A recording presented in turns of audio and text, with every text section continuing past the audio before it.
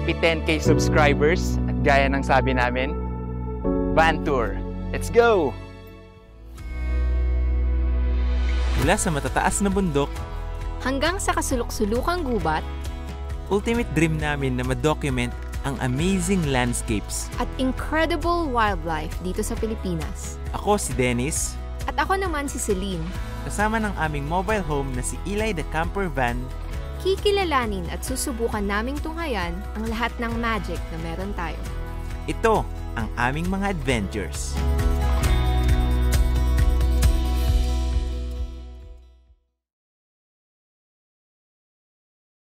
Hello! Andito tayo ngayon sa Ugaong View Deck sa Manolo Fortich, Bukidnon. Ah, ito si Eli the Camper Van, ang aming bahay on the road, ang aming home on the road, adventure buddy. Si Eli ay isang 1992 Mitsubishi Delica Star Wagon. Nabili namin siya second hand through Carousel. Naganap kami sa Facebook tapos wala kaming mahanap. Um, kung may mahanap man, sobrang mahal. Tapos nagtry, nagtry akong mag-search sa Carousel. Ayun, nandun siya nakapost. Tapos yun, um, chinek namin. Originally, color red si Eli. Pero ang nakalista sa kanyang registration ay green talaga. Hindi pinabago ng previous owner. So, nung nakuha namin si Eli, kailangan din naman talaga i-repaint. Binalik namin sa green para hindi na namin baguhin yung sa papeles. At saka, gusto rin naman din talaga namin yung green. Ah, siya ay automatic diesel engine. Converted kasi galing siya ng Japan. So, converted yung kanyang manibela. Yun, tara, pasok tayo at ito-tour namin kayo sa loob.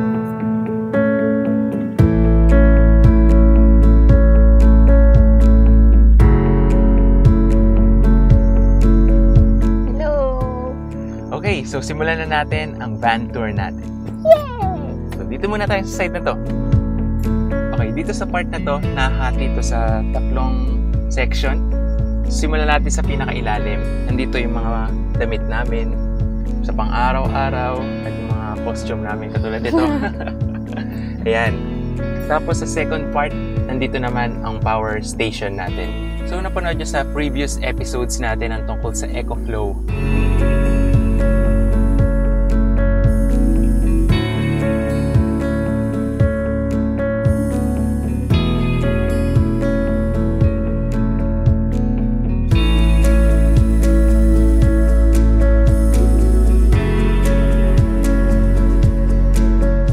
bago dumating yung EcoFlow, meron pa tayo talagang powerhouse. Ito ang OCPH Powerhouse. Gawang Pinoy ito na nakita lang din namin sa Facebook and sinubukan namin na bumili at hanggang ngayon gamit na gamit pa rin namin after more than a year. So bukod dito sa OCPH dahil ito ay isang 12 volt battery para magamit natin yung mga appliances natin na 220 volts, kailangan natin ng inverter. So dito nga nakalagay yung inverter natin, yan. Kuha lang tayo ng ilaw. Inverter natin na 2,000 watts ang capacity. Ibig sabihin, worth of 2,000 watts ng appliances ang pwedeng pagsabay-sabayin. Tapos ito yung battery natin, OCPH Powerhouse. So itong inverter natin, nakakabit yan, itong wire na to. Dito. So yung 12 volts, pupunta sa inverter, tapos gagawin niyang 220 volts kung saan yung output nito nandito sa mga outlet na to. So pagka may 220 volts appliances kami, yan lang namin sinasaksak. So kailangan lang i-on to. Yan. Patayin na natin. So ayun yung isa sa pagkakaiba niya dun sa EcoFlow Delta 2 natin which is nandito. Yan, nandito sa pinakalabas yung EcoFlow Delta 2 natin. So itong EcoFlow Delta 2 meron na siyang built-in inverter sa loob. Yan, kaya tayo nakapagsaksak ng 220 volts sa likod niya ng diretso. So ba meron dyan sa inyo na gustong ipag-compare itong dalawang powerhouse na to. May kanya-kanya siyang pros and cons. Katulad na lang nitong OCPH powerhouse. Yan, nandito yung Facebook page nila. So mas mura to, pero mas portable to kasi itong EcoFlow saka yung ibang model niya may kasama ng inverter. Which is ito wala pa. Tapos itong EcoFlow naman meron din siyang fast charging na katulad nitong Delta 2 na 1.5 hours lang ay full charge na sa 220 volts. Ayun may kanya-kanya siyang ano eh, pros and cons eh. Pero pareho naman silang nakakatulong dito sa van life namin. Pag kailangan namin i-charge itong, itong EcoFlow Delta 2 namin dito na lang sa may inverter So bali ito yung magja-charge yung battery na to. Kasi itong battery na to, pwede rin siyang i-charge through alternator kapag nagde-drive kami. Para isang battery na lang yung nakakabit dun sa alternator namin. So sa taas ng powerhouse natin, nandito yung table natin. Nandito rin madalas na nakapatong itong router ng Starlink. Yan, nahihila to. Ayan o. Oh. So pag nagde-drive kami, hindi pwedeng hindi nakalak to. Yan, kasi gaganyan-ganyan siya. Kaya nilagyan namin itong hook. Sa gilid nitong powerhouse natin, nandito yung water station naman natin. Itong jug namin ay galing pang San Antonio, Zambales. From San Antonio, Zambales, nandito na ngayon sa Mindanao. Ayan, nandyan lang siya. Katulad kanina, nilagyan din namin nitong guard para hindi siya lumabas, lalo na pagka nagde-drive tayo. Tapos sa ilalim niyan, sa, sa tabi ng mga damit natin, nandito yung mini rice cooker natin. Tada! 12 volts yan. Yan. So, dito naman tayo sa third section.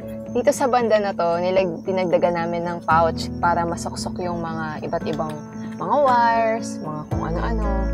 Yan, madaling. Tapos ito, itong part na to, dito namin nilalagay si Mad Eye. Itong Insta361 RS, nakaganyan lang siya dito. Fire extinguisher para in case na kinakailangan. Accessible siya. Okay.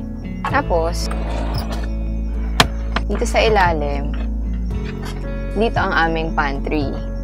Originally, dito nakalagay dapat yung inverter. Yung binago namin kasi mas bagay siya for pantry. Tupperware, pagkain, seasoning, tas bigas. Ito yung pang-init namin. Yan. Dito kay Eli the Camper Van, maraming mga section area na originally hindi talaga siya para doon. Na, nalaman na lang namin na, ay, dapat mas maganda pala dito. Kasi mas kailangan natin mas accessible. So, nung nasa road na kami, one week pa lang ang dami na namin mga sana. Nagpungsoy na kami. Oo. Yung design namin, bago simulan ng van life ay maraming flaws na hindi swak sa pang-araw-araw. Katulad na lang nga nitong powerhouse natin. Originally, nandito siya sa likod. Tapos yung inverter ay nandito na sa, ta- sa taas. So, mahirap siyang i-access kasi magkahiwalay pa sila. Ito, itong box na to, ma-access mo lang to pagka nakabukas tong rear door. Kaya, ginawa namin, dito na naman namin nilagay lahat ng powerhouse which is originally para sa mga damit namin. So itong ilalim for photography gears dapat to pero ayun, napunta na dito yung mga damit namin kasi kailangan din accessible yung mga damit. Bago ginawa ang interior ni Eli the camper van, dito sa SketchUp muna namin pinlano ang bawat sulok ni Eli. At gaya ng sabi namin, unang plano ay nandito talaga sa taas ang 2000 watts inverter namin. So, ayun. Ito na ang aming pantry. Tapos, dito sa taas niya, may, may gap pa. Piniksikan din namin ng mga stuff. So, ito, camping chairs. Tapos, ito, mga pangbuhok. Mga hair, mga shampoo ko. Kasi marami nang, kailangan na ng maraming hair care yung kulot kong buhok. Uh, tapos minsan, sinusoksokan ko din yan. Ito katulad ng journal, tapos mga libro, sinisiksikan ko din yan dyan minsan. Uh, tapos ito, additional electric fan para sa mainit na panahon. Mm-hmm. Medyo nakakatawa lang siya kasi expose yung LEC. So pagka nakabukas yan, kailangan maingat kami. Then nakakaltokan kami. Pero hindi naman siya masakit. Oh, hindi naman deadly. Tapos, kung napapansin niyo dito, merong uka. Kasi originally, meron niyang slot for our foldable solar panel. Kaya lang, nahihirapan kaming gumilos kasi sobrang nakaganon na yung ulo namin. Nakaganon na kami. Yun, kinalas namin. Tapos, nilagay namin yung solar panel na foldable dito sa gilid. Yan, tapos ganyan na lang siya. Tapos yung paligid niya, yan, nilagyan ni Dennis ng ilaw.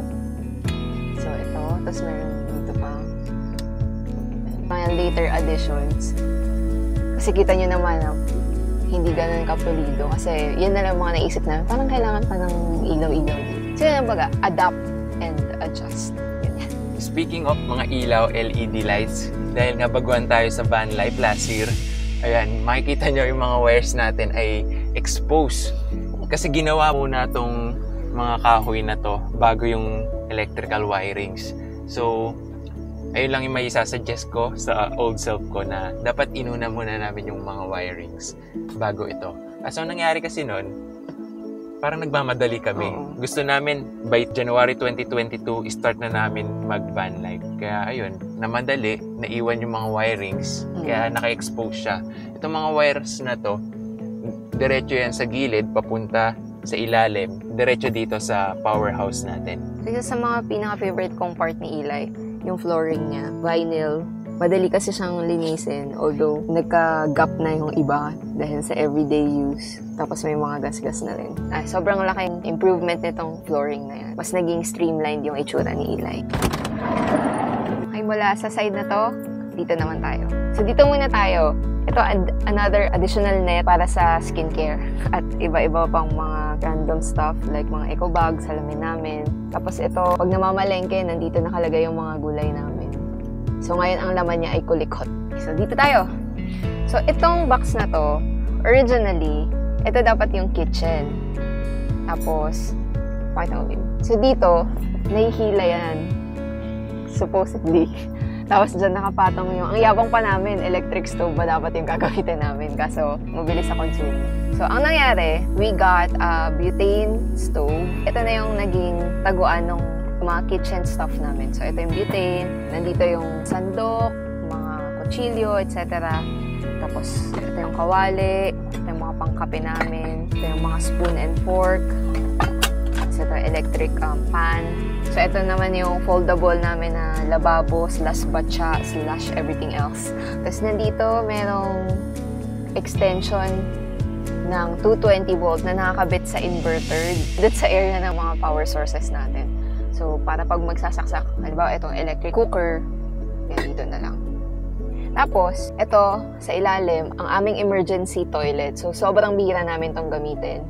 Pag lang talagang inaabot ng number 2 sa liblib na lugar. Tapos, dito din sa side na to, meron pang isa kaming lagayan. Nandito yung stock namin ng mga sabon, sabong panlaba, sabong ah, dishwashing liquid, tapos sabong pangkatawan, yan, dito nakalagay. Dito naman sa gilid, yan. Ito hindi ito natapos na part na to kasi supposedly, meron niyang cover. May lid siya na pag ganun. Tapos dyan nga nakalagay yung pantry namin kasi nga itong original kitchen. So, anong nangyari? Dito na nakalagay yung aming portable bidet, mga panghugas. Tapos dito sa side na to, ah, mga mantika, s- yung mga Vitamilk dito din. Tapos ito, nilagyan namin ng guard din. So, para siyang wrestling ring. para hindi rin sila kumakalat-kalat at lumalabas pag nagda-drive. Ang laking tulong nito. Tapos yan, sasara natin. Pag magluluto, ayan, lalabas lang dito lahat.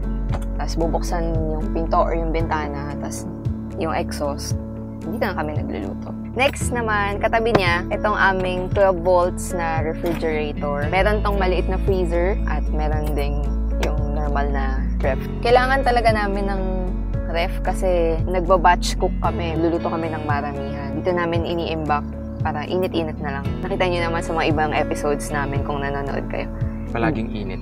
Oo, nag-iinit kami madalas kasi one time lang kami nagluluto para isang pagodan lang. Okay, sa likod naman itong rep natin, nandito pang isa nating OCPH powerhouse. Ayan. So, originally, dalawa yung powerhouse namin kasi hindi kakayanin ang van life ng iisa lang na OCPH powerhouse. So, meron kami dito. Ayan. Tapos, pinapower namin tong ref na to, hindi gamit itong OCPH powerhouse na to, kundi itong powerhouse natin dito. Kasi ito yung nakadirekta sa alternator. So ito, backup lang to. Pagpapalit-palitin na lang namin pagka ito naman ang gagamitin namin. So pinapower namin tong 12 volts ref natin gamit itong binigay ng OCPH natin. Extension na may multiple outlets. Merong cigarette outlet, tapos may USB outlet. Ayan. So, pinadaan namin yung wire niyan dito sa gilid ni Eli, dito sa gilid ng kama. Yan, siniksik ko sa loob ni Eli yung wire dyan. Buti na siksik. Hanggang sa makarating dito sa OCPH Powerhouse number 1 natin.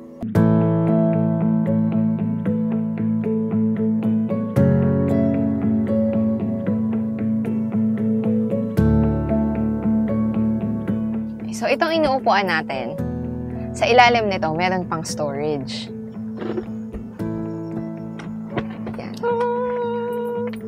So, dito sa side na to, nandito yung mga camping gear namin. Tapos mga iba pang mga damit na hindi naman palaging ginagamit. Tapos dito, um, mga iba-iba pang kung ano-ano. Mga extra gamit namin na hindi naman madalas gamitin. Yes. Tapos nandito naman sa may dulo yung mga gamit natin sa for maintenance kay Eli.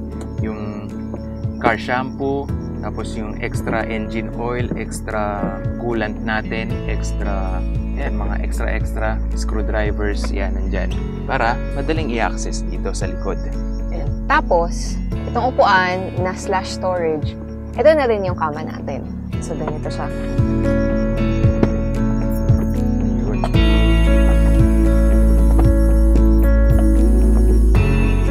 Tapos ito, sandalan natin. Tapos meron tayo ditong hook. Yan, na bumababa lang din to. Para itong sandalan natin, swak na swak yan dito. so ito yung isa sa mga area na hindi na bago from our original design. Yan, buti na lang. so, So- kasyang-kasya na kami dyan. Ah, saktang-sakto lang to sa amin. Dalawa lang kami. Kaya pagka may makikiangkas ay wala siyang tutulugan. Oo, dun sa harap. Tapos, fun fact, itong color ng itong higaan namin. Ito rin yung color ng sofa namin sa dati naming apartment. Parang, ano lang, bring a piece of our home before. Yes. Masarap din siya sa paa. So, ayan yung isa sa mga favorite namin kasi kahit saan kami pumunta, sobrang comfy pa rin ang tulog namin. Ayan Yes. yung pinaka mahalaga. 4 inches yung thickness nitong foam na to. Kaya very, very comfy. Tapos si itong cover niya natatanggal. So, every 2 to 3 weeks ganyan, sinasama namin sa laundry ito. Tsaka yung mga curtains. Napaka-importante rin ito, lalo na paggabi. Meron tayong privacy. Paggabi, madilim sa labas, tapos maliwanag sa loob. Kitang-kita tayo Yes. dito sa window na to. So, ito yung nagpo-protekta sa atin para hindi tayo makita sa labas. Yan. So palabas na tayo dito kay Eli the camper van. At ito, isa sa mga area kung saan hindi nasunod yung dinesign. Yan, katulad dito, nakalagay talaga dito yung dalawang OCPH powerhouse natin. Talagang nakasize to para sa OCPH powerhouse, magkapatong dapat yan. Kaso ang problema nga namin, sobrang hirap niyang i-access. Lalo pag gabi, kailangan pa namin buksan tong ah, rear door natin. Doon lang namin na pagtanto na hindi siya swak na dito nakalagay yung powerhouse. Natatandaan ko noon sa Quezon, sa Quezon area, dun nag-rearrange talaga kami ng mga gamit. Mm. So, ayan, yung powerhouse, nilipat namin dito sa loob. Nasakto naman kasi pagdating ng EcoFlow, may lalagyanan din siya. So, lahat ng power source natin nasa isang area lang. So, ang nakalagay na dito ay, kitang-kita nyo naman, yung mga putikan naming shoes sa sandals. Tapos, yung camera bag ko. Tapos yung mga extension, pagka kailangan natin makisaksak sa ng 220 volts, yan, mahabang extension yan. Sa likod ng camera bag, nandun yung toolbox natin. Kailangan kailangan yan kahit hindi tayo marunong sa makina para pag may tumulong sa atin, ayan, meron mga gamit. Murang-mura lang yan sa Lazada, Shopee, around 1,000 lang. Kompleto na. Tapos yung wire ng Starlink. Nakadiretso yan sa router sa loob. Nasa likod yung daan ng wire para hindi makita at hindi sumabit-sabit. So ito nga, yung wire natin ng Starlink from router, yan, dito namin pinadaan. Madalas yung Starlink namin iba-iba yung pinagpapatungan. Ngayon lang na nandito tayo sa Ugaong kasi na nakapatong dyan yung Starlink dish natin. Nandito na rin naman tayo sa labas. pakita ko na kung ano yung nandito sa taas ni Eli the Camper Van. Simula tayo dito sa awning natin. Yan, isa sa mga unang binili namin nung bago magsimula ang van life natin. Na doon din namin napagtanto nung nagsimula kami sa van life na hindi pala palagi siya magagamit. Kasi madalas kami nasa parking area at mahirap i-set up to sa parking area. Sakto rin to dapat dun sa kitchen natin na dihila mula sa labas. Tapos doon mag-ano, di ba? Maggamit naman to pagka nasa camping grounds tayo, katulad itong Ogaong. Yan. So, dahil itutur ko kayo sa taas, di na namin sinet up. So, dati, meron tayong metal ladder dito sa likod ni Eli, kaso hindi siya kinakaya ng rear door dahil sa bigat and lagi siya natatanggal. So, na-stress na kami kaya tinanggal na lang namin. So, paano natin i-access yung taas? Kailangan buksan. Tapos, apakan, dito tayo. Tapos, So, nandito ang Starlink dish natin. Yan, dyan muna nakapatong. Pero pagka hindi namin ginagamit, didismantle namin siya. So, dito sa taas ni Eli the Camper Van, nandito yung solar panel natin. Dalawang 100 watts EcoFlow solar panel. Yan. Tapos, meron din tayong mga tubigan para sa pangsaing, panghugas ng pinggan, panghilamos. Anim na galon yan. Yung isa nandito na sa baba kasi ginamit namin kanina umaga. Tapos, sa gitna ni Eli, nandito rin yung isa sa mga original design ng camper van natin. Yan, ang exhaust inlet fan natin para lumamig-lamig naman sa loob ni Eli. So, nandito tayo sa loob ngayon ulit ni Eli. Tapos, ito yung exhaust inlet fan natin. So, ang Delica Mitsubishi Star Wagon, originally merong sunroof dyan. Which is tinanggal namin para mailagay itong exhaust inlet fan na to. Para hindi namin kailangan magbutas kay Eli kasi napakalaga nito para may fresh air lagi sa loob ni Eli lalo pagka matutulog kami. So yun, naka-wired siya. Ayun, itong kitang-kitang wire, ito yung wire sa exhaust fan natin. Papunta dun sa powerhouse natin.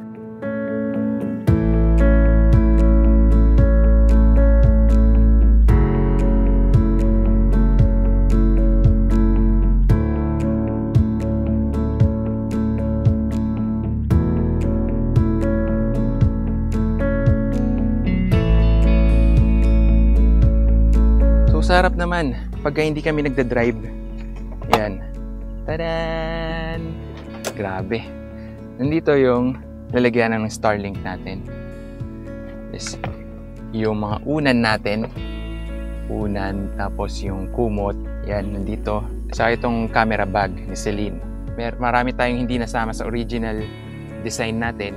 Yung mga hindi kailangan sa loob, dito namin nilalagay pagka nakapark kami para maluwag tayo dun sa loob. Yun. Tapos, pagka mag, kailangan na mag-drive, ito ang itsura niya sa loob. Last year pa lang, napakarami na nagre-request ng van tour pero hindi namin siya kaagad ano, binigay kasi kahit kami, ang dami namin naiisip na gustong baguhin agad dun sa loob ni Eli the camper van. Mm. Kaya hindi namin mailabas-labas tong van tour. Eh, pero gaya nga ng nasabi namin na pag umabot tayo ng 10,000 subscribers, doon na namin ilalabas tong van tour na to. Marami-rami na rin kaming reflection kasi more than a year na kaming nagba-van life. Malalaman mo talaga kung ano yung tamang lagayan, tamang setup ng camper van mo. Okay. Once na nasa road ka na, mm. doon mo maiisip. Kaya kung nag-iisip kayo, ayun, labas-labas muna kayo para maisip nyo na, ah, dito, ito pala, mali pala tong mm. area na to. So, doon nyo ma maiisip kung saan yung tamang layout ng camper van nyo. Hmm. Tsaka ano din, depende din din sa mga gamit na dadalhin nyo.